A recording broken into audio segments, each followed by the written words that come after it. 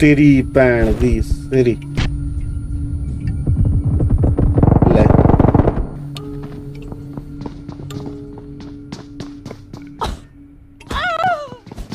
Wait and watch इधर आ जाओ मस्जिद भी गने पड़ी है गने उठा लो।